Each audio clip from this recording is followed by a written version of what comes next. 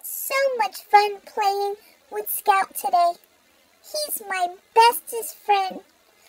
I can't wait to go and play with him tomorrow again. Oh, I'm getting so